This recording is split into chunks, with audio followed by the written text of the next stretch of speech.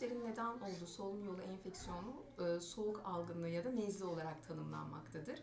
E, hafif seyirli bir hastalıktır. E, 200'den fazla virüs tarafından oluşturulmaktadır.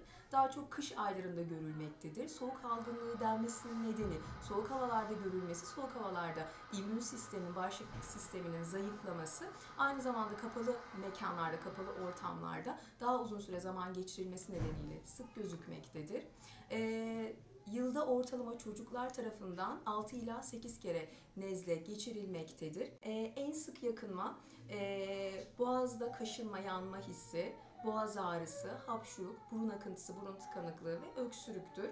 Ateş vardır ya da yoktur. Ee, hafif ses kısıklığı da olabilir.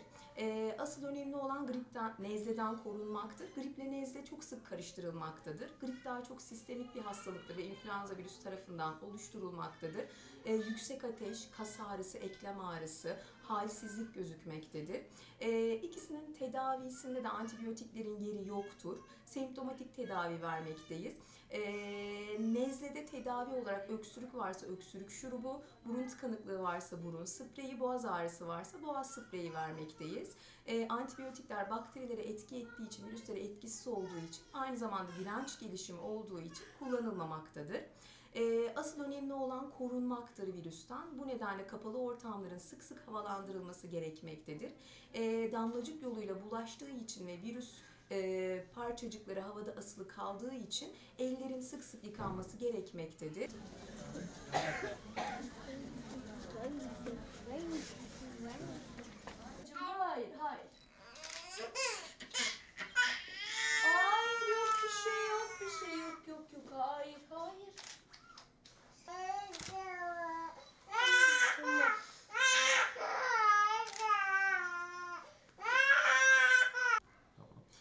Çocuklarda bu dönemde bronşiti çok sık görüyoruz.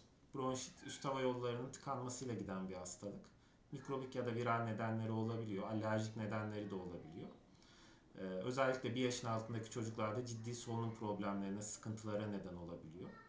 Ee, kış döneminde de çok sık bronşit gördüğümüz için kısaca ondan bilgi vereceğim. Ee, özellikle mikroplar ve bu dönemde e, viral infeksiyonlar, özellikle respiratuar sinsisiyal virüs dediğimiz ve adenovirüs dediğimiz virüsler sıklıkla bronşite neden olmaktadır. Ee, ve de hani zeminde alerjik bir bünyesi varsa çocuklarda tekrar tekrar bronşit atakları geçirmekte çocuklar. Ee, burada e, çocuklarda özellikle klinik bul- bulgu olarak solunumda zorluk, nefes alıp verirken hırıltı duyulması, e, öksürük, e, göğüste hızlı hareket, karın hareketlerinin hızlı olması, burun kanatlarının açılıp kapanması şeklinde bulgular verebiliyor. Daha şiddetli olduğu dönemde morarma ve hayati tehlikeye yol açabiliyor.